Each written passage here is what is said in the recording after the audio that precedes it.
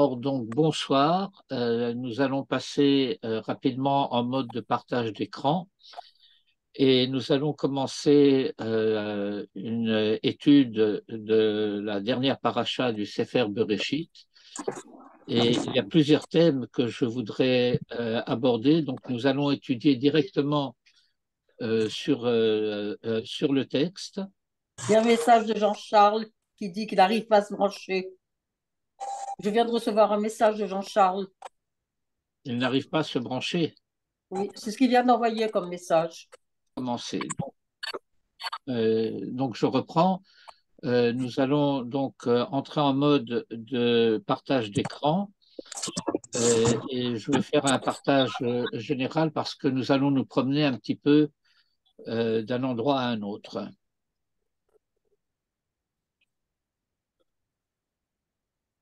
Voilà, alors il faut que je rapetisse un petit peu cet écran. Voilà.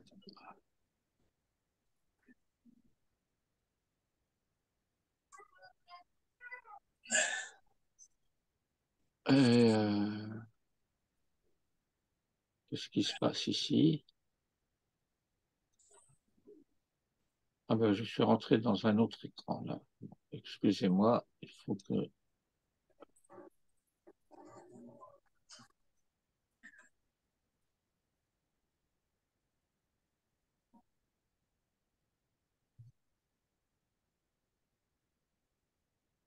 Voilà, nous allons, euh, nous allons commencer par le dernier verset euh, de la paracha précédente, euh, qui est donc le, le, verset 27 du chapitre 47. Vayeshev Israël be'eretz Mitzrayim be'eretz Goshen, vayeachazu va, vayifru vayirbu me'od. Et euh, le, euh, ce, verset qui donc, euh, après que Jacob et sa famille euh, soient descendus rejoindre Joseph en, Égypte, ils ont rencontré Pharaon qui les a accueillis non seulement à bras ouverts, mais en leur faisant beaucoup d'honneur. et la, la, la, Torah nous, nous dit que Israël s'est installé, la Yeshev, euh, Be'eretz Mitzrayim, Be'eretz Goshen, en terre d'Égypte, euh, dans la province de Goshen, et euh, le début du verset est au singulier. Et nous passons directement au pluriel, Vayachazu va, Vayifru Vayirbu me'od, Vayachazu va, Rashi va dire Lachon Achuza. Achuza, c'est une propriété. Euh, et, donc, euh, Vaye va, euh, on aurait tendance à, dire, mais c'est une, c'est une traduction, je dirais pas sollicitée, mais un petit peu, un petit peu, je veux pas dire exagérée, mais enfin en, appuyée en quelque sorte euh, ils en prirent possession. Vaïfrou, Vaïrbou, Me'od, et euh, ils euh, fleurirent, ou plus, plus exactement, parce que c'est Paris, ils fructifièrent et se multiplièrent beaucoup. et donc, nous avons à nous poser la question euh, sur le sens euh, de Israël au début du verset. Est-ce que l'intention du verset, c'est déjà de désigner la famille de Jacob comme Israël, à la manière dont cela s'est déjà produit à plusieurs reprises euh, dans la Torah depuis la, la, paracha de Vaishla, qui ne va là à Israël, à propos de l'affaire de Dina et de Shrem. Euh, et, donc euh, le, texte a déjà tendance à certains moments euh, à désigner la famille de Jacob déjà sous le nom d'Israël. Mais parfois cela ne désigne que Jacob lui-même. Toutefois, euh, ce serait un petit peu euh, surprenant, ça demanderait à, être expliqué, parce que euh, immédiatement après, la Torah va dire Yaakov be'eretz Mitzrayim. Et Jacob a vécu dans le pays d'Égypte. donc l'ambiguïté reste. mais va le pluriel qui intervient euh, donc dans la deuxième moitié du verset euh, tente à, indiquer euh, qu'il s'agit davantage, en tout cas, du reste de la famille que de Jacob lui-même. et donc, il y aurait déjà eu à ce, ce moment-là, en quelque sorte, je ne veux pas dire un hiatus, mais euh, en tout cas une certaine euh, différence d'intention entre euh, Jacob Israël et le reste, le reste de la famille. or, vous vous rappelez le, le dire de la Haggadah de Pessah, la gourbe Haaretz Banu la Gourba Banu, euh, nous sommes venus pour euh, habiter provisoirement dans le pays. Et que dit la Gada de Pessah pour expliquer ce verset?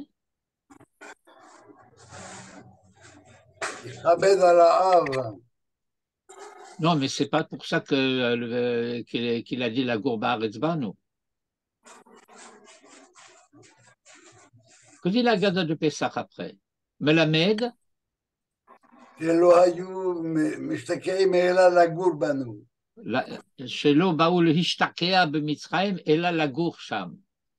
qui ne sont pas venus euh, pour euh, s'enraciner en quelque sorte euh, en, Égypte. le Hishtakea, le Yot Shakua, c'est en hébreu moderne, le Hashkia, ça veut dire investir. Et donc on pourrait traduire mais ça serait un petit peu anachronique, mais enfin pas totalement faux, que cela signifie qu'il n'était pas venu pour s'investir en Égypte, mais seulement pour y habiter, provisoirement. Et maintenant, le verset nous dit, euh, va yeshev Israël. C'est la chaîne yeshiva que ça pu dire Vayagar. Et en plus de cela, euh, le texte poursuit en disant va. Ils en prirent possession. Euh, certains, des, certains des commentateurs disent euh, ils se sont construits des palais, des propriétés. Et, donc, euh, cela signifierait-il qu'ils se sont dit, bon, on est là pour un certain temps, donc autant être confortablement installé. Ou bien que euh, cela euh, impliquerait qu'ils n'avaient plus l'intention d'en repartir. Qu'est-ce que c'est que ce bruit? Eh bien, c'est qu'il y, y a des frottements. Et, je, euh, et donc, euh, la paracha de cette semaine, la paracha de Vaïri, euh, commence en quelque sorte sous les auspices, dans, dans, dans, une atmosphère, si vous voulez, de cette ambiguïté. David, c'est chez vous qu'il y a ces bruits?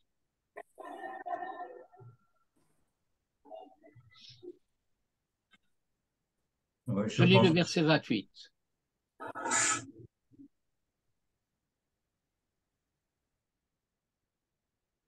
Vayechi Yarakov be'eretz Mitzrayim, Shva Esre Shana.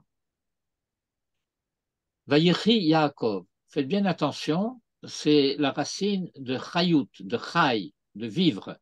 C'est pas Vayehi Yaakov et, Jacob fut dans le pays d'Égypte, mais Jacob a vécu dans le pays d'Égypte. Shva Shana, 17 années. Euh, pour bien comprendre de quoi, euh, de, quoi il s'agit ici, euh, ça, me rappelle une petite histoire. vous savez ce que c'est un chatran? Oui, C'est un, marieur en, quelque sorte. Bon, il avait présenté une jeune fille à, à, une famille qui avait un jeune homme à marier. Et puis, euh, le, beau-père euh, futur a, demandé Et que fait son père? Ah, malheureusement, il est mort. Bon, ben, ça arrive, bon, il n'y a, à, a rien à dire. Et puis vient le jour du mariage, et puis le, beau-père attrape le, marieur euh, et le secoue comme un prunier en lui disant Mais tu m'as menti, tu m'as dit qu'il était mort, et maintenant, j'apprends qu'il est en prison. Et le marieur lui dit, c'est vivre ça? On se pose la question, comment Jacob peut-il vivre dans le pays d'Égypte? Le pays d'Égypte, c'est l'exil. Euh, les prophètes, euh, très souvent, euh, vont désigner les pays de l'exil comme la tombe. Ézéchiel en particulier, pour dire je vais vous faire sortir d'exil, il dit j'ouvrirai vos tombeaux et je vous ramènerai à la terre d'Israël. On se pose la question comment est-il possible que Jacob ait pu vivre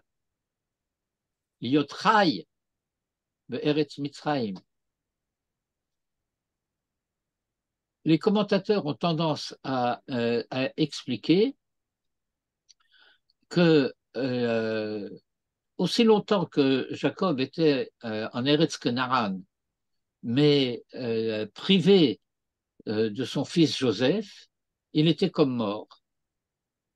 Et quand on lui annonce Od Yosef Rai, alors la Torah dit Va ruach Yaakov avihem. Et l'esprit de euh, Jacob, leur père, euh, a euh, littéralement a ressuscité, Et, et, on va dire, étant donné que maintenant en Égypte, Jacob est avec Joseph, alors ces, ces, ces 17 années-là ont été pour lui des années de vie, parce qu'il était avec Joseph mais ce n'est pas explicite dans le texte. Et le fait que ce ne soit pas explicite dans le texte et que le verset continue ensuite dans la deuxième moitié du verset par Yaakov et les jours euh, de Jacob, les années de sa vie furent Sheva Shanim, sept années, Arbaim Shana, et 140 euh, euh, ans. Et tout de suite après, verset 28, va Yikrevu Yemei Israël Lamout. Et les jours d'Israël s'approchèrent de mourir. Et on ne peut pas ne pas euh, remarquer le contraste qu'il y a entre Vayechi Yaakov et Yemei Israël Lamout. Et nous aurons à y revenir euh, parce qu'il euh, y a là un enseignement extrêmement important euh, qui nous concerne directement. Mais je, lis d'abord la suite du, verset. Vaïkra livno le Yosef, et il appela son fils Joseph. On pourrait dire, il fit venir son fils Joseph. Et on se pose la question, euh, ne suffisait-il pas, suffisait pas de dire Vaïkra le Yosef et on sait que c'est son fils Le texte ne peut pas dire Livno parce qu'il en a douze et donc on n'aurait pas su duquel il s'agit. Mais Livno est un peu superflu euh, apparemment dans le pshat du verset. Vayomerlo et il lui dit Imna matzatichen si de grâce j'ai trouvé, si s'il te plaît, j'ai trouvé grâce à tes yeux, Simna yadecha tachatirechi, Simna yadecha tachatirechi, c'est une expression d'assermentement. Je vais te faire jurer sur la Brit Mila. C'était déjà l'expression que Abraham avait utilisée lorsqu'il avait envoyé Eliezer en mission pour aller chercher femme pour, Isaac. Mais donc, il y a dans cette expression Simna Yadecha Tachatirechi déjà le fait que euh, euh, je te fais prêter serment, je te fais jurer d'accomplir ce que je vais te demander.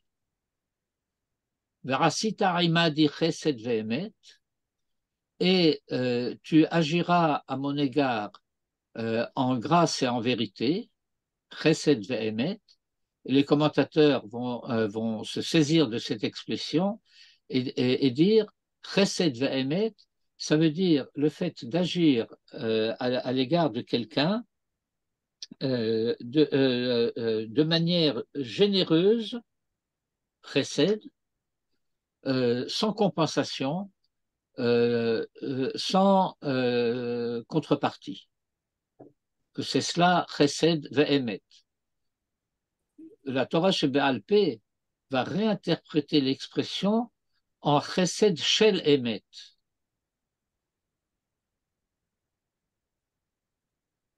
La véritable générosité, la générosité, la, vérité de la générosité, la générosité vraie. Et en quoi cela va consister? Alna tigbereni bemitzraim. Ne m'enterre pas en Égypte. Veshachavti imavotai. Veshachavti imavotai, euh, c'est euh, le, le, moment, euh, l'instant de la mort. Il faut faire attention, cela ne signifie pas l'enterrement. C'est le fait, c'est ce qu'on appelle gvira, l'igvora. L'igvoa, c'est le terme que l'hébreu euh, de la Torah utilise pour, euh, pour désigner la mort biologique. Le shachafti mavotai, et je reposerai avec mes pères, une satani mitzraim, et tu me transporteras hors d'Égypte, ukvartani et tu m'enterreras dans leur tombeau de mes pères avec lesquels euh, je reposerai, et Joseph répond, Vayomar, et il lui dit, Anochi e'ase chidvarecha. Moi, je ferai selon tes paroles. Euh, ce qui est surprenant, c'est que euh, Jacob répond à cet euh, acquiescement de Joseph en lui disant Vayomer Hishavali, jure-le-moi. Mais depuis le début, il s'agissait d'une prestation de serment. Qu'est-ce qu'il lui demande de jurer de nouveau? Et, Joseph obtempère. Vaïshavalo. Et il le lui jura. Vaïshtachu Israël al Rosh Hamita. Et Israël se prosterna au pied du lit, sur le pied du lit. Euh, les commentaires sur cette fin de, de, verset euh, ont une, euh, comment dire, euh, différentes lectures. Euh, certains disent qu'il se prosterne à Joseph, certains disent qu'il se prosterne à la Shekhina.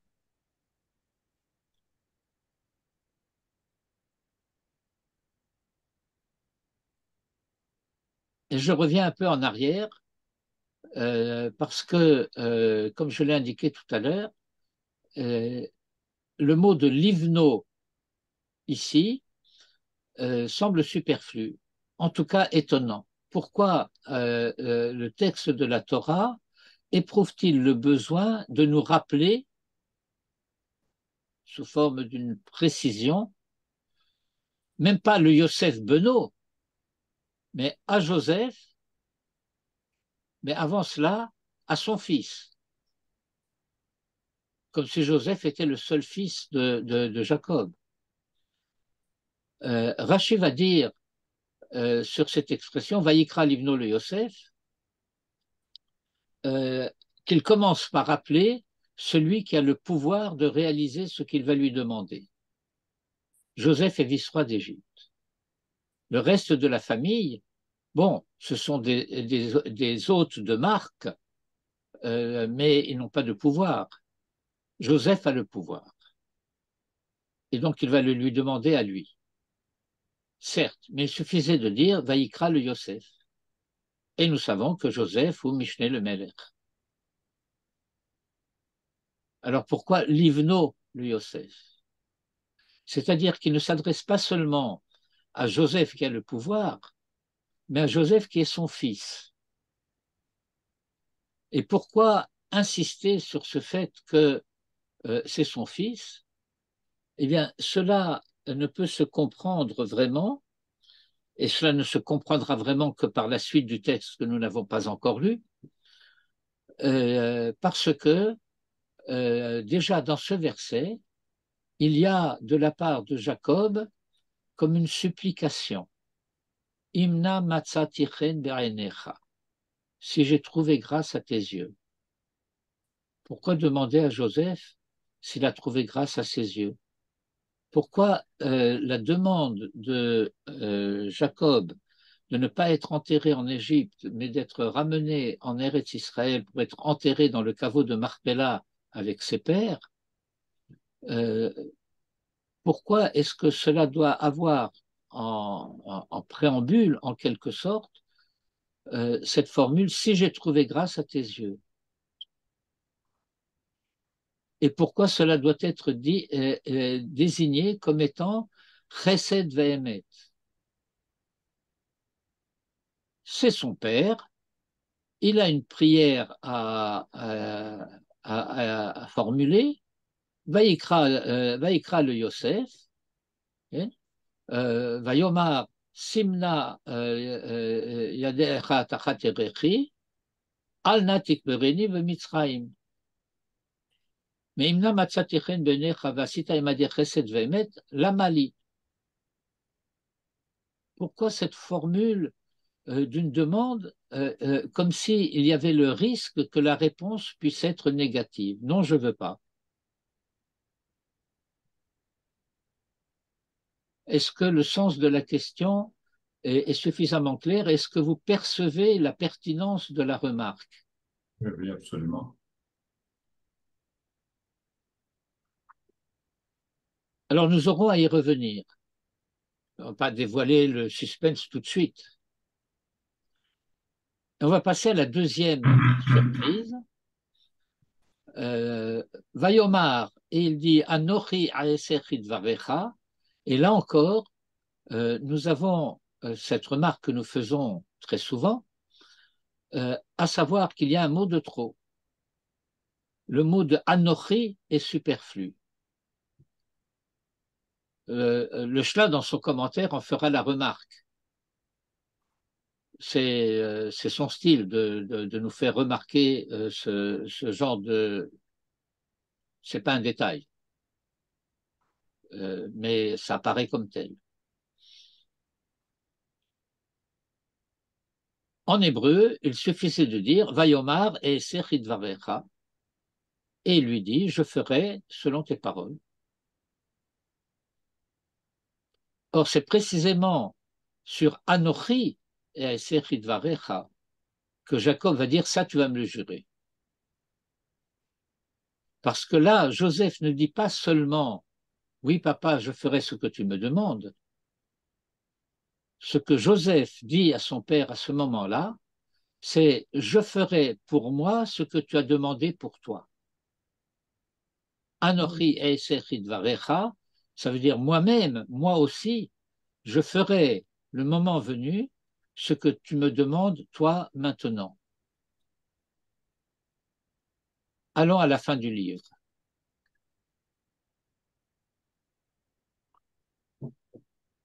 Le livre de Bereshit et la paracha euh, euh, s'achèvent euh, précisément sur ce sujet.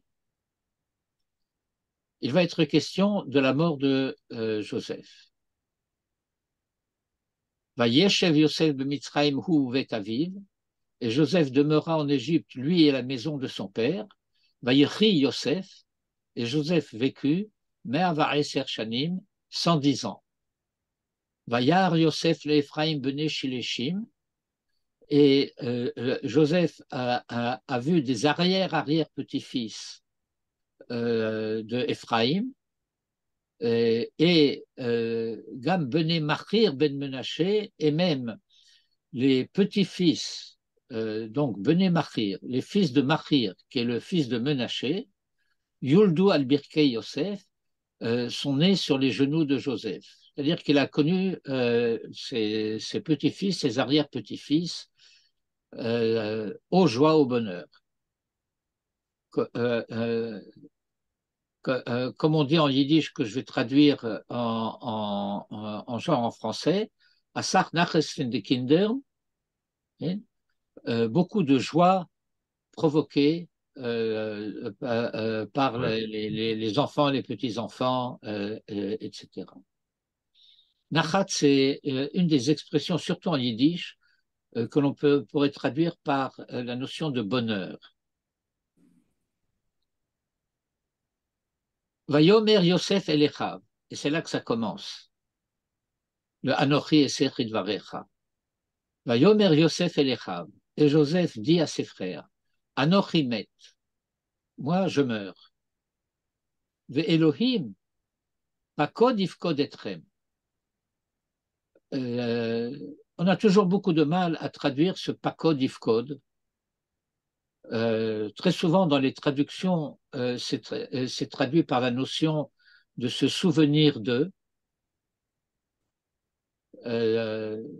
Pour l'instant, on va s'en contenter parce que ce n'est pas l'essentiel du, du, sujet. Mais rappelez-vous,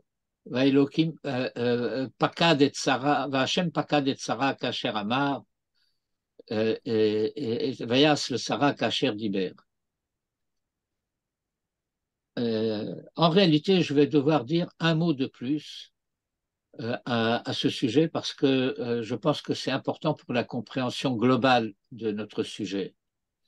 Au-delà du détail de ce que euh, le verset va nous révéler euh, ici. Vous savez que Jacob et Rachel ont longtemps attendu la naissance de Joseph. Et puis, après la naissance de plusieurs fils et même d'une fille de Léa, la Torah va dire que Dieu s'est souvenu de Rachel. Vaïskor Elohim et Rachel. Alors retenez ce principe, cette règle. À chaque fois qu'il y a la notion de Zechira en rapport avec une naissance, cela signifie qu'il s'agit des Toladot dans la dimension de Mashiach ben Yosef alors qu'à chaque fois qu'il s'agit du verbe de pekida, il s'agit d'une naissance de Toladot dans la dimension euh, de Mashiach ben David. La famille de Jacob, c'est-à-dire tout Israël de ce temps-là, est descendue en Égypte rejoindre Joseph pour participer à l'aventure Mashiach ben Yosef de ce temps-là. Et voici que Joseph, à la fin de sa vie, leur dit le temps de Machiar ben David va venir. Pakod.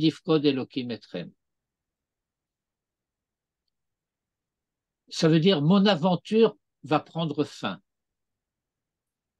Elle devait être tentée, il était important de la tenter. Nous l'avons tentée avec le maximum euh, de loyauté possible, mais il faut bien avouer cela échoue. Tout se passe comme si l'Égypte de ce temps-là est irrécupérable, ce qui va se dévoiler de manière de plus en plus claire euh, euh, dans la paracha de la semaine prochaine, qui est la paracha de Shemot, avec le nouveau livre qui commence, le deuxième livre du, euh, des Hamishah Torah. Et donc, euh, Ve'elohim pakod etrem, ve'he'ela etrem min haaretz azod et il vous fera monter de ce pays. El haaretz asher nishbal Abraham le Yitzhak ou le pour vous ramener au pays qu'il a juré à Abraham, à Isaac et à Jacob. Et maintenant, les versets, euh, comment dirais-je, euh, j'ose pas dire cruciaux, mais euh, capitaux. Va Yashba Yosef et Israël les morts.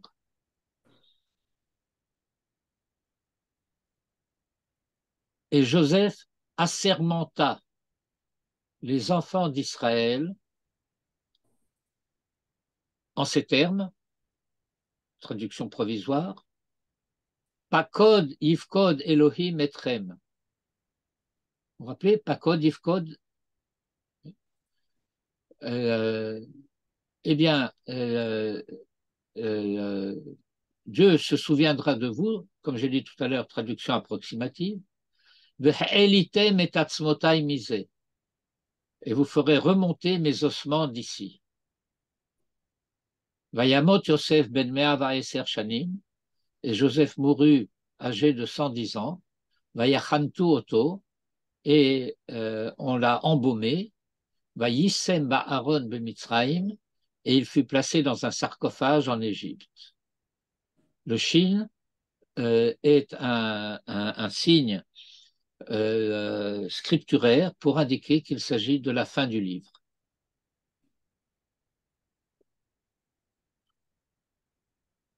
Et c'est à cela que fait allusion le verset du début de la paracha, Anochi et. Cela veut dire qu'à ce moment-là déjà, on était où? On était à 47 on était à 46. 46, 46 à la fin de. Voici 46. Non, c'était 47.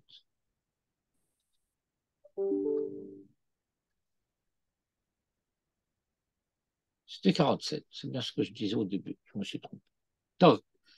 Et donc, ce Anochi Aesechid Varecha, c'est le fait que euh, Joseph avoue à Jacob qu'il sait déjà à ce moment-là que sa tentative est vouée à l'échec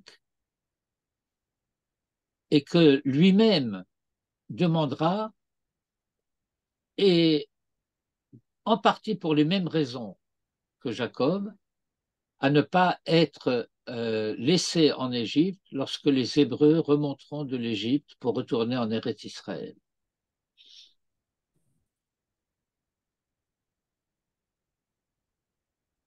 cet aveu est important. Cet aveu est important d'abord parce que euh, cet aveu dénote la fidélité de Joseph au projet d'Israël.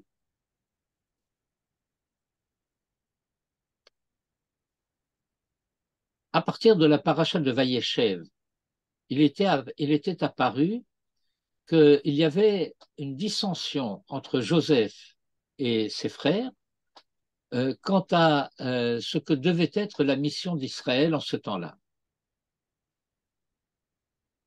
Joseph considérait, il était d'avis que ce n'était pas une simple opinion, c'était un engagement.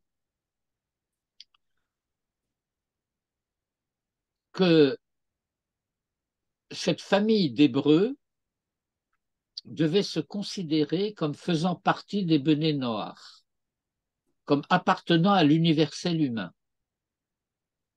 et en tant que tel, à s'engager euh, à aider le reste de l'humanité euh, à participer à sa propre rédemption. Yehuda et ses frères se considèrent déjà comme non plus Bené Noir, mais comme déjà Israël. Vous vous rappelez, enfin vous vous rappelez, vous avez dû euh, euh, étudier en tout cas euh, dans, des études, dans des, dans des lectures, que avant la création de l'État d'Israël, il y avait une notion qu'on appelait Hamedina Baderer. L'État d'Israël n'est pas encore fondé, mais c'est déjà l'État en chemin. Et donc le peuple d'Israël n'existe pas encore, mais c'est déjà Israël en chemin. Ça, c'est la, euh, conception de Yehuda. Au moment de l'affaire de Dina, que je rappelais tout à l'heure, euh, les, euh, les fils de Jacob s'opposent à leur père parce que eux se considèrent déjà comme Israël, qu'il ne va là à ça de Israël, c'est un scandale ce qui s'est passé en Israël. Euh, on avait l'intention de marier Dina avec Shrem, mais pas dans ces circonstances-là, pas à ce prix-là, pas de cette manière. Ça, c'est scandaleux, on ne peut pas laisser ça passer ça. Jacob était, semblerait-il, à ce moment-là, euh, disposé à passer l'éponge, mais pas ses fils il y a un affront qui a été fait à Israël, on ne laisse pas passer ça. Ne va là à Sab Israël. Et maintenant, Joseph, en déclarant à Nochi Asechid Varecha, euh, exprime devant son père le fait qu'il est revenu en quelque sorte euh, à, ce qu'était euh, la conception de Judas et de ses frères.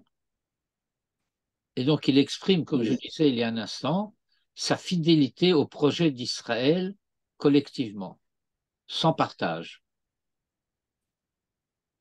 Et ça, Jacob lui dit, ça tu vas le jurer. Ça, je ne vais pas me contenter d'une déclaration de principe. Genre, euh, s'adressant à son père mourant, euh, euh, il lui dit je ferai comme toi, un peu comme si c'était pour le rassurer. Non, je prends cela pour un engagement définitif, mais tu vas le jurer. Parce qu'un serment, à la différence d'une promesse, c'est inconditionnel. Vayomer Hishavali, et il dit, jure-le-moi, Vaïshavalo, et il le lui jura, et c'est là-dessus, Vaïshtahu Israël al Rosh Hamita, et non pas sur le fait que Joseph a accepté de le ramener d'Égypte euh, pour l'enterrer dans le caveau de Marpella. Mais il nous reste quand même la question euh, de euh, ce doublé Livno le Yosef. Si jusqu'ici les choses sont claires, on avance. Pas de questions? Eh bien, on avance. Nous ne savons pas combien de temps s'est passé euh, entre euh, le passage précédent et euh, le passage qui vient, le chapitre qui commence, le chapitre 48. Vayehi achare ha'ele. Et donc, Joseph est retourné dans son palais. Euh, son père était Beretz Goshen, lui il était probablement à Ramsès ou dans une de ces villes-là. Et euh, il arriva après ces événements, va Yomer le Yosef, et l'on vint dire à Joseph, Hine avicha voici ton père est malade. Va et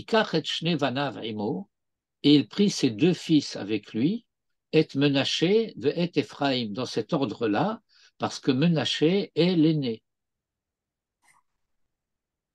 Et de la même manière qu'il a été dit Vayomer le Yosef, le verset 2 dit Vayaged le Yarakov. Et l'on a annoncé à Jacob, Vayomer, c'est-à-dire il y a un messager qui vient, qui annonce et qui dit Hine bincha Yosef ba'elecha. Voici ton fils Joseph vient euh, auprès de toi, va y traser qui Israël, et d'emblée, le verset nous dit euh, que tout le passage à venir sera euh, en, quelque sorte sous le signe Israël.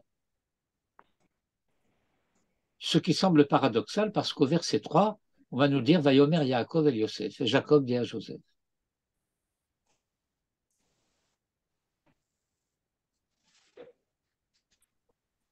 Vayomer bincha Yosef ba Israël. Et euh, euh, Israël se renforça, il a fait l'effort nécessaire, Vayeshev al-Hamita, et il s'assit sur le lit. Il était couché, maintenant il s'assied. Vayomer Yaakov el Yosef. Et euh, il y a ici en quelque sorte l'expression de la, comment je vais dire ça, complicité particulière qui existe entre Jacob et Joseph. Vous vous rappelez, El Toldot Yaakov Yosef. Tout se passe comme si Jacob est le père de Joseph, alors que Israël est le père de Yehuda. Et ceci pourquoi?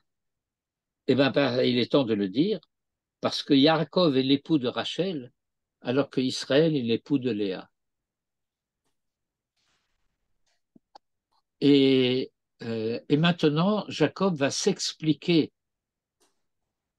sur ce qui s'est passé précédemment dans le, euh, dans le début de la paracha. Yomer Yaakov et Yosef. Et Jacob a dit à Joseph. Tout se passe comme s'il fallait lire ce Vayomer comme à raconter à Joseph. El Shaddai nira elai belouz be'eretz Kenaan. El Shaddai, c'est l'un des dix noms divins euh, fondamentaux que l'on n'a pas le droit d'effacer selon euh, l'enseignement de la Torah. Asara Shemot chez Nimchakim, ineffaçable. Et c'est le nom euh, que la Torah utilise pour formuler la notion qu'il s'agit du Dieu qui promet, El Shaddai. Nous retrouverons ce thème plus tard euh, dans la paracha de Vaera. Okay. Vaera el Avram Yitzhak el Yaakov El Shaddai, Ushme Hashem lo nodati lahem. El Shaddai, c'est Dieu qui promet. El Shaddai nira elai belouz, m'est apparu à un endroit qui s'appelle Luz, Eretz Canaan, dans le pays de Canaan, Vayovarechoti, et il m'a béni. Vayomer Elai, et il m'a dit, Hineni mafrecha vehirbiticha. Je vais te faire fructifier et te faire multiplier. De quoi est-il question? Tous ses fils sont déjà nés. À quoi ce Hineni mafrecha vehirbiticha Untaticha likhal ramim et tu deviendras une communauté de peuples. Ça, ça désigne les tribus. Et je donnerai cette terre à ta postérité après toi, achuzat olam, propriété perpétuelle. Et Jacob continue. Verata, et désormais, tes deux fils qui te sont nés dans le pays d'Égypte, jusqu'à ce que je vienne à toi, Mitzraïma, vers l'Égypte, li hem, ils sont à moi. Ephraim ou Menaché, dans cet ordre-là. Ephraim ou Menaché, qui Reuven ve Shimon Yuli, seront pour moi comme Menaché et Reuven. Cela veut dire que Jacob explique à Joseph que c'est en Éphraïm et Menaché que se réalise la promesse divine Mafrecha vehirbitira. Que c'est à ces deux fils-là qui vont devenir des pères de tribus au même titre que ses autres fils, que le verset fait allusion. Parce que ces douze fils étaient déjà nés, mais il manquait encore la treizième tribu. Et donc, euh, nous arrivons maintenant à un stade où il y a 14 fils, mais Joseph va sortir en quelque sorte du conte et il va rester totalement à part. Les deux tribus de Ephraim et de Menaché sont des tribus qui vont être attribuées directement à Jacob et non pas à Joseph, qui est leur père. Et c'est ainsi qu'il faut comprendre l'enseignement du Talmud qui dit En Korin Avot et Lishlosha. On appelle, apostrophe appelle, on appelle père que trois, pas quatre, parce que pas Joseph. Il y a une quatrième euh, euh, pied euh, du trône, mais ce sera David. Et Joseph restera à part. En quelque sorte, il sort du compte des fils et n'entre pas dans le compte des pères. Il a une place à part. Si je voulais le dire euh, d'une manière euh, un, petit peu, euh, je ne veux pas dire littéraire, mais malgré tout un peu dans cette veine-là. Vous savez que les deux dernières bénédictions, les bénédictions intermédiaires du Shemona Esrei, ont trait à la messianité. dans le Noussar Sfarad, euh, euh, qui est un peu différent ici euh, du Nusach Ashkenaz. le Nusach Ashkenaz dit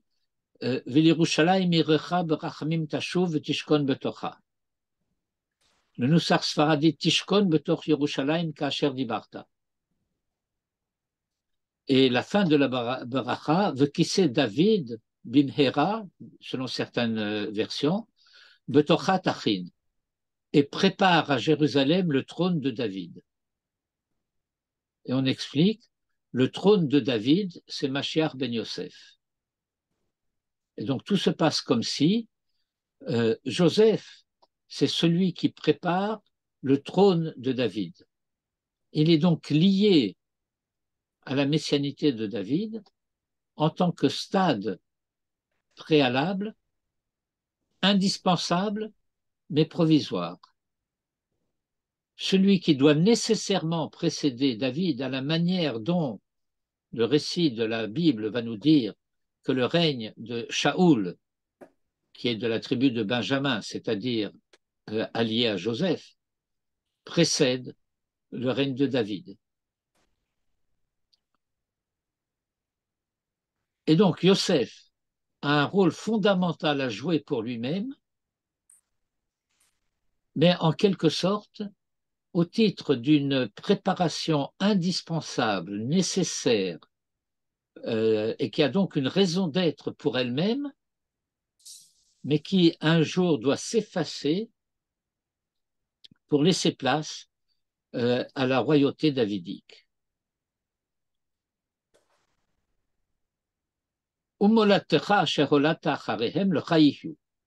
Et les enfants que tu auras après eux, ils seront à toi.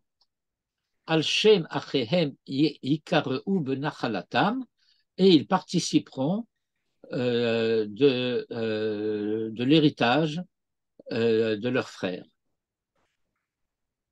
C'est-à-dire qu'ils seront associés, dans la suite de l'histoire, à Ephraim et Menaché, ils n'auront pas une part spécifique à part dans le pays d'Israël, mais ils seront associés à, à leurs frères devenus pères de tribus. Et maintenant, verset 7. Va Ani, et quant à moi, mi Padan, lorsque je revenais de Padan, Meta alay Rachel. Rachel euh, on est obligé de traduire mais morte. Littéralement, elle est morte sur moi. Mais euh, euh, le, Talmud va dire qu'une femme ne meurt que pour son mari. la perte de l'épouse, lo nous, euh, n'est ressentie vraiment, n'est en quelque sorte connue vraiment euh, que par l'époux. ואני בבואי מפדן מתה עליי רחל בארץ כנען, בדרך, dans le pays de Canaan, en chemin. Kivrat eretz lavo efrata. À une certaine distance encore euh, avant d'arriver à Efrat.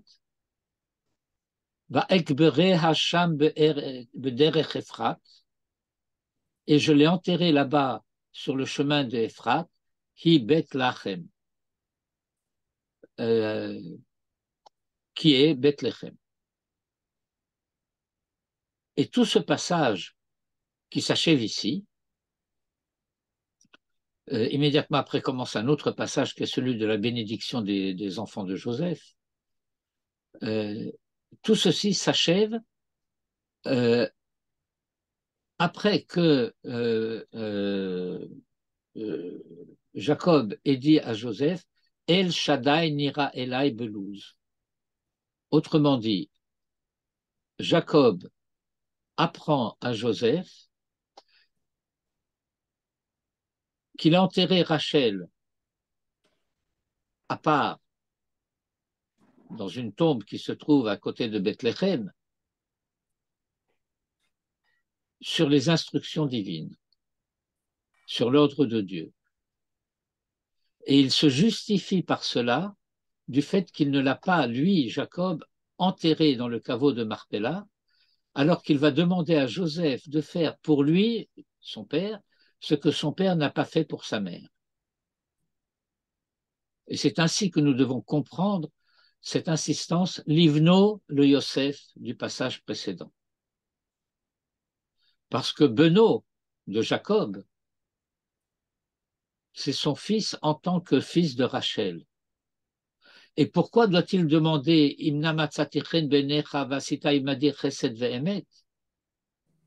pourquoi cette supplication en quelque sorte? Pourquoi ce ton suppliant pour demander quelque chose d'aussi naturel Enterre-moi dans le caveau de Marpella, dans le, tombeau de mes pères? Eh bien, c'est parce que Jacob perçoit le fait que Joseph peut avoir un certain ressentiment à son égard parce qu'il n'a pas enterré Rachel dans le caveau de Marpella alors qu'il y a enterré Léa. il doit se justifier de cela. Et c'est ce qu'il fait ici.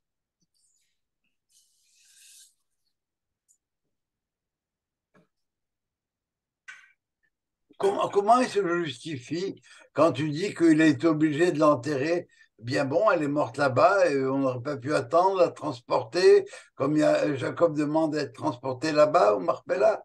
En quoi c'est une justification? J'ai pas compris ta question. Tu, as dit que euh, il se justifie de ne pas avoir enterré Rachel au caveau de Marpella. Parce que c'est sur l'ordre de Dieu. Où est-ce qu'on le voit? Parce que tout ce passage est à l'indice de El Shaddai Nira Elai Belouz, Eretz Kenaran. Et que euh, euh, le verset 7 va dire Va'ani bevoimi padan arab meta alay rachel be'eretz kenaran. Ce Eretz Kenaran d'ici fait écho au Eretz Kenaran du, euh, du début du passage. Ok, merci. Parce qu'il suffisait de dire Vani bevoimi padan aram meta alay rachel baderer be'ot kivrat Eretz lavo efrata hi lachem et on sait que c'était Beretz Kenaan.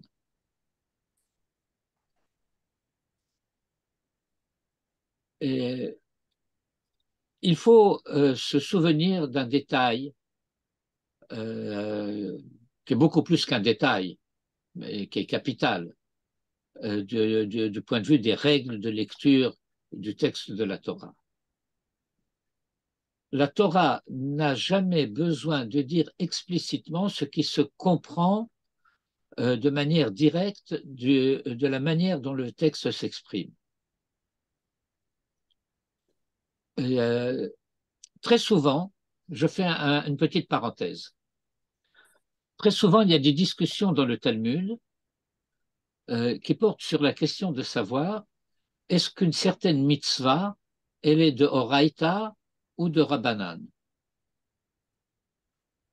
Est-ce que c'est une institution rabbinique, entre guillemets, tardive, qui en quelque sorte euh, se rajoute aux instructions de la Torah elle-même et que les Chachamim euh, décident pour des, pour, pour des, des, des, raisons importantes concernant la continuité de l'histoire d'Israël. Il y a une situation où euh, un problème est apparu et il faut résoudre ce problème et il faut par conséquent prendre les dispositions nécessaires. Ou bien en réalité, il ne s'agit pas du tout d'une décision prise par les rabbins face à une situation nouvelle, mais simplement le fait qu'il s'agit d'une disposition de la Torah qui peut se déduire directement du texte, éventuellement Midot Bahed, par les 13 règles d'exégèse de, lecture euh, de, de, la Torah, mais qui n'avaient pas été explicitement formulées dans la Torah. Et donc, quelque chose qui, se, euh, qui peut se déduire ou s'induire directement du texte de la Torah est considéré comme étant de Horaïta, comme si la Torah elle-même l'avait dit. Alors je vais corriger cette dernière expression. C'est que la Torah elle-même l'a dit, mais cela n'a pas été écrit.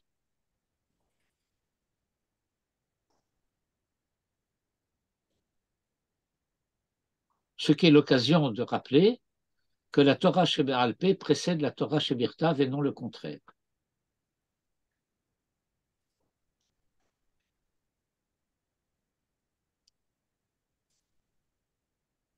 Autre question?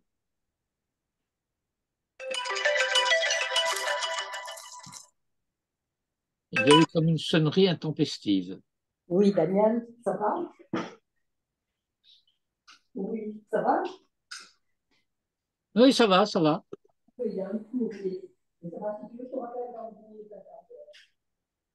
Bon, euh, s'il n'y a pas d'autres questions, on poursuit.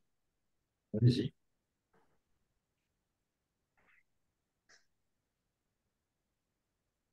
Alors on poursuit et puis euh, ça, va être euh, euh, la surprise. Une surprise monumentale.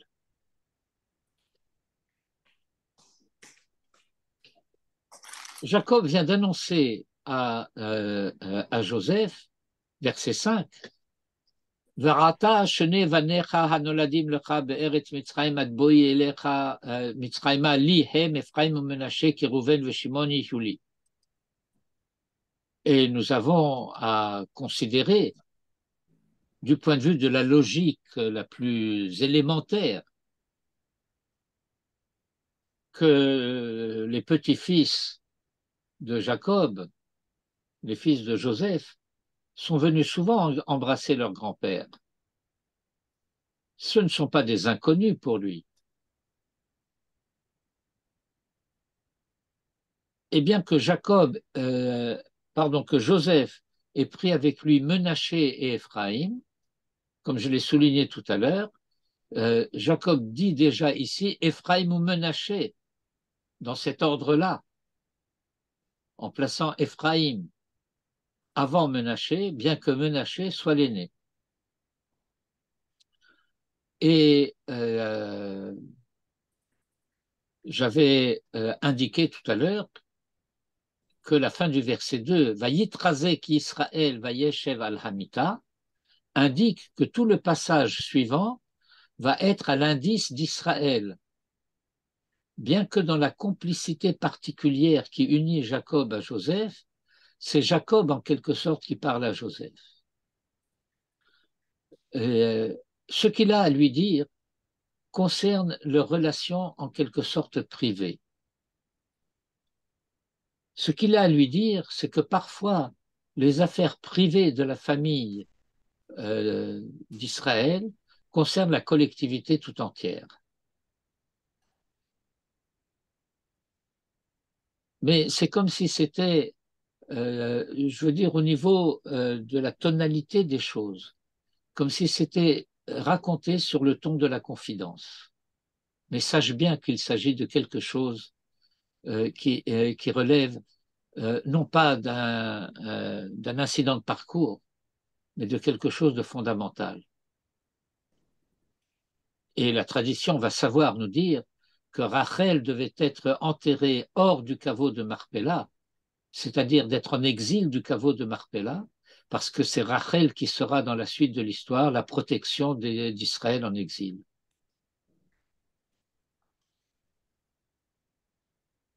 Le verset saura dire euh, Rachel mevacha albaneha, Rachel pleure ses fils. Et de manière extraordinaire, il faudrait lire et étudier tout le passage là-bas. Ses fils, ce sont tous les enfants d'Israël, et pas seulement euh, euh, Joseph et Benjamin.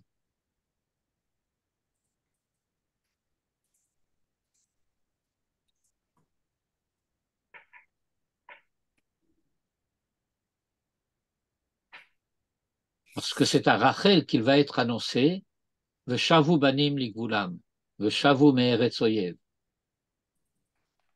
Ils reviendront à leurs frontières. Ils reviendront euh, des, des pays de l'ennemi.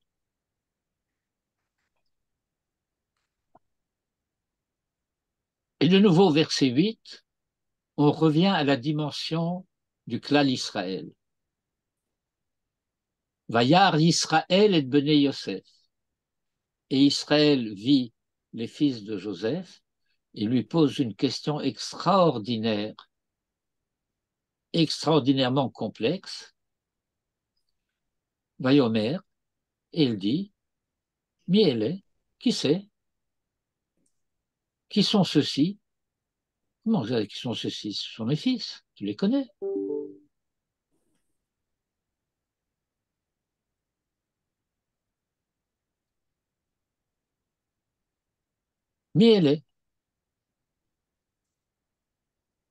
Alors ça, c'est fantastique.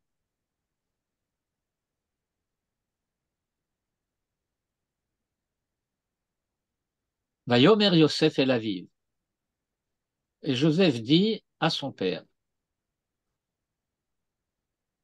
de nouveau, et je pratique euh, euh, ici les instructions euh, de, Manitou sur la lecture de la Torah, Manitou nous disait toujours que en lisant les versets de la Torah, il fallait toujours noter ce qu'il appelait les aspérités du texte le texte n'est pas lisse. C'est un des drames, pour ne pas dire catastrophe, de la traduction de la Bible du rabbinat, c'est qu'elle s'est efforcée partout de lisser le texte, de faire disparaître les difficultés de lecture.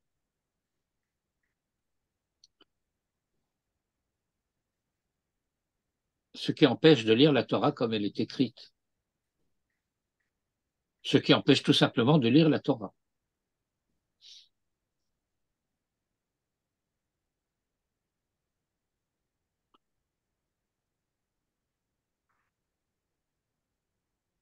Vayomer Yosef El Aviv. Ce El Aviv est inutile.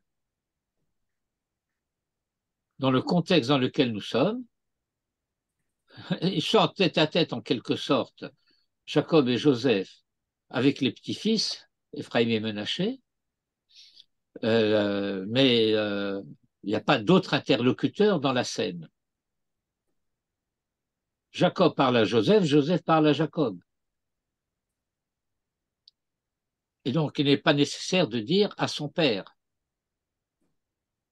Sauf que le texte a commencé au verset 8 par Vayar Yisraël et Bene Yosef Vayomer Miel. Et donc, lorsque le texte dit Yosef El Aviv, c'est-à-dire que non pas à son père en tant que Jacob, mais à son père en tant qu'Israël. C'est-à-dire qu'il euh, y a une, euh, un changement de statut, en quelque sorte, de la relation.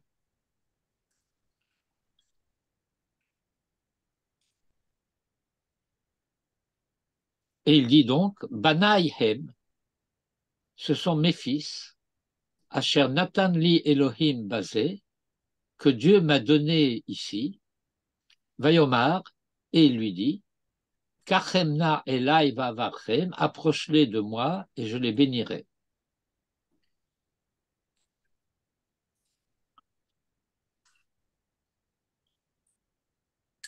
Verset 10 nous dit quelque chose d'extrêmement paradoxal.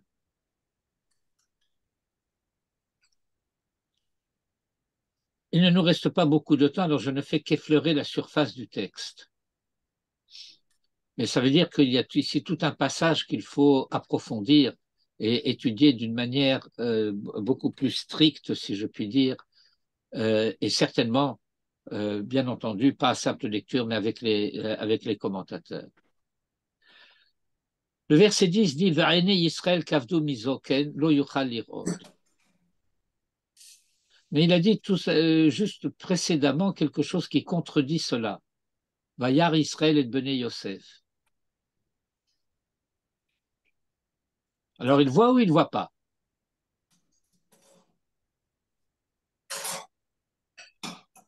Il ne s'agit pas des yeux de Jacob. Nous ne sommes pas euh, dans la dimension, dans la perspective de la vie privée, d'un détail personnel euh, concernant un instant particulier de la biographie de M. Jacob. Il s'agit de quelque chose qui est formulé, énoncé dans la dimension de Torah Israël, de Torah Hashem.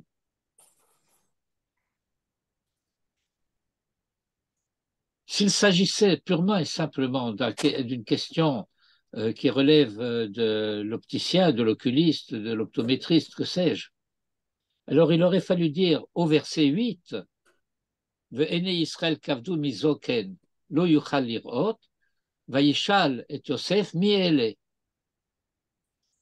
Il voit flou, il voit des, il y a, quelqu'un là, il voit pas très bien qui c'est. Il lui demande, mais c'est pas ce que le texte dit. Le texte dit de quelque chose de très différent. Le texte dit qu'il a vu les fils de Joseph.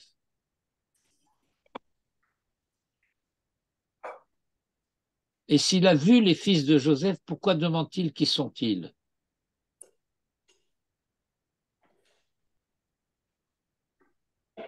Euh, euh, je voudrais arriver à exprimer avec suffisamment de force la contradiction qu'il y a au verset 8 entre Et Bené Yosef et la question Mi Ele. Alors bien sûr, on peut lire le fait que euh, la, Torah raconte, et c'est la Torah qui dit que c'est les Béné Yosef, mais que Israël, lui, il demande qui sont-ils. Mais si c'était de cela qu'il s'agissait, le texte là aurait dû dire quelque chose pour nous rendre la, situation claire. Velo hikiram et il ne les reconnut point parce que ses yeux étaient faibles. Et donc tout ce passage du verset 8 au verset 9 et au verset 10 euh, sont difficiles. Et je le signale simplement pour dire que ça devrait être étudié de manière plus approfondie. Surtout euh, avec ce qui va suivre.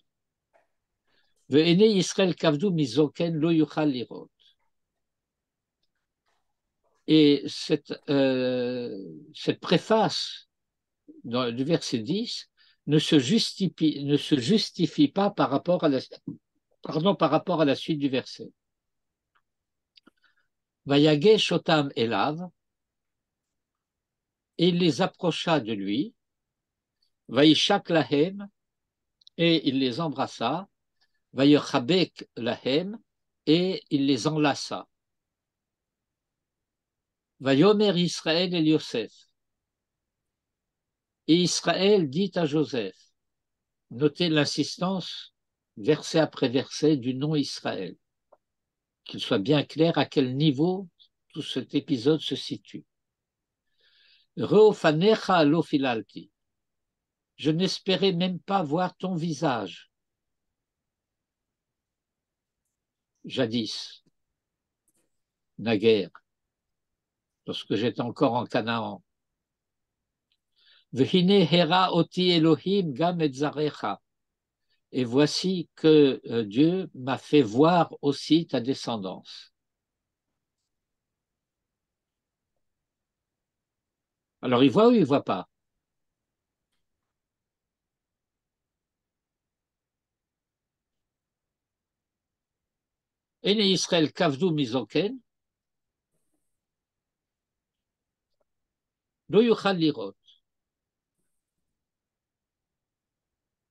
והנה הרע אותי אלוהים גם את זרעך.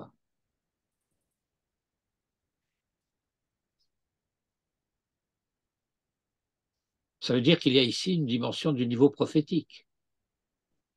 Il n'a pas dit être banecha, il a dit être zarecha. Et il s'était déjà approché de lui. Vayagesh otam elav suffisamment près pour qu'il puisse les embrasser et les enlacer. Et maintenant, au verset 12, on semble revenir un peu en arrière, à un, autre moment de la scène. Yosef otam me'im et Joseph les a fait sortir d'entre ses genoux. Apav arza, et il se prosterna face à terre. Vaikach Yosef et Shnehem. Et Joseph prit les deux. Et Ephraim bimino mismol Israël. Ephraim à sa droite, à la gauche d'Israël, être Menaché bismolo et Menaché à sa gauche, Mimin Israël, à la droite d'Israël, Vayagesh Elav, il s'approcha de lui. Menaché est l'aîné, et si Joseph le prend par la main gauche, c'est parce qu'il fait face à euh, euh, son père. Et s'il est à la gauche de Joseph, il sera à la droite de son père.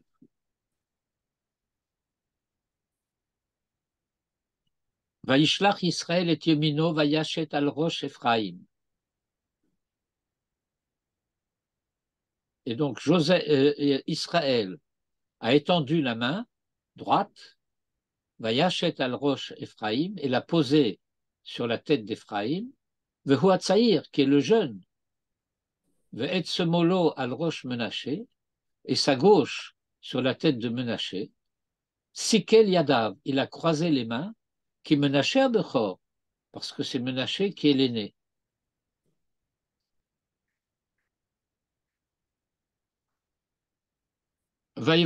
Yosef, Il a béni Joseph. Et il a dit, Joseph, il s'agit de ses fils, il a béni Joseph et il a dit,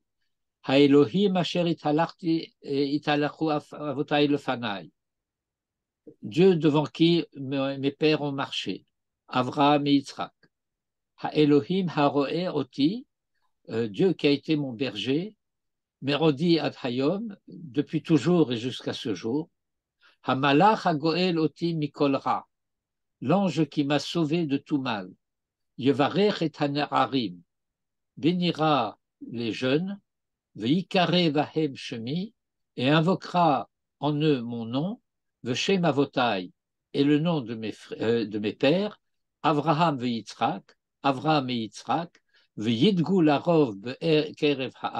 ils se multiplieront. Veyidgu, c'est de la chaîne dag, dagim, les poissons ils pulluleront en nombre de Keref Haaretz au sein de la terre.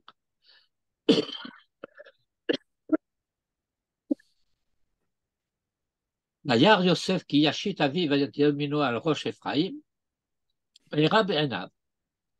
Joseph a vu que son père avait tendu la main droite sur la tête d'Ephraïm et cela lui a déplu.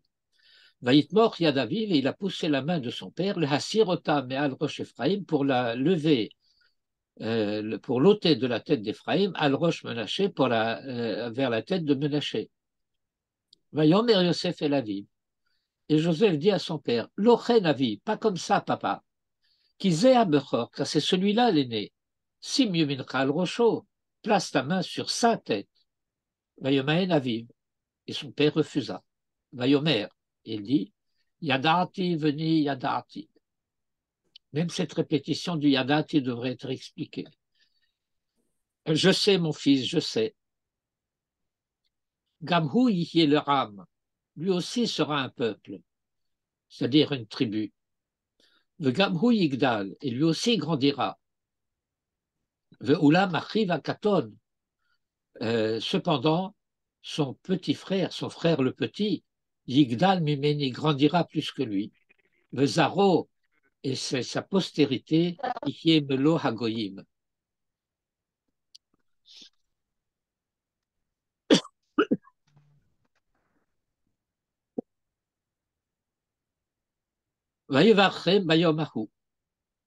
Et il les bénit ce jour-là. Les morts, disant, Becha Israël, les morts. Par toi bénira Israël, c'est-à-dire le peuple d'Israël à l'avenir, en disant, Yesimecha Elohim, que Ephraim vechim Menaché, que Dieu te fasse comme Ephraim et Menaché. Vayasem et Ephraim lifne Menaché. Et il euh, plaça Ephraim avant Menaché. Bon, je... je lis les derniers versets pour terminer le chapitre. Vayomer Israël et Yosef. Israël dit à Joseph, Hine anochimet, voici que je meurs. Vehaya Elohim imachem, et Dieu sera avec vous. Veheshiv etrem el eretz avotechem, et il vous ramènera euh, au pays de vos pères. Va'ani, quant à moi, natati lecha, je t'ai donné à toi, shechem achad alachecha, euh, une part littéralement une épaule, Shrem. Mais ici, il y a euh, comme un écho et un clin d'œil à Shrem, qui est en quelque sorte le beau-père de Joseph, puisqu'il est le père euh, de sa femme, de euh, Asnat. Il ne faut pas dire Osnat, bien qu'en Israël on dise Osnat, il faut dire Asnat. Euh, Asnat est écrit avec un kamatz. Et comme le samer est avec un cheval, on a l'habitude de lire euh, le, le suivi d'un cheval O. Sauf qu'il y a un méteg, il y a un petit trait euh, à, côté du kamatz pour dire qu'il est dissocié du cheval qui suit et donc il faut lire asnat et non pas osnat. Mais l'habitude a été prise en Israël, on n'y peut rien, euh, on ne les fera pas changer d'habitude. Va'ani natati lecha shechem achad alachecha, asher lakarti miyad ha'emori becharbi ou bekashti, que j'ai pris des mains de l'amoréen avec mon glaive et mon arc. Verset, comme on écrit parfois dans les notes de la Bible du rabbinat, verset obscur. Et Manitou disait, si c'est obscur pour le rabbinat, qu'est-ce que ça doit être pour les autres? Qu'est-ce que c'est Shrem alors? Alors, le sens euh, euh, pshat ici, c'est une part de plus qu'à tes frères. Le Midrash explique, euh, il s'agit des vêtements de Adam Arishon dont Ésaü avait hérité et que Rivka a donné à Jacob et qu'il transmet maintenant à Joseph.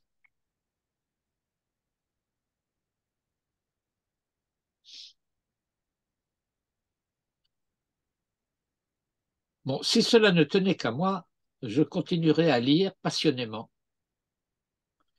Mais il commence à se faire tard, malgré tout.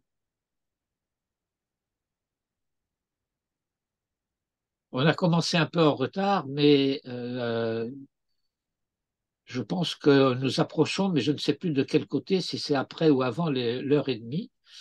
Et donc, je pense que nous devons néanmoins euh, appliquer la règle que je vous répète à plusieurs reprises et depuis longtemps, mais j'espère que ça continuera longtemps encore, c'est que un cours ne s'achève jamais, il ne fait que s'interrompre.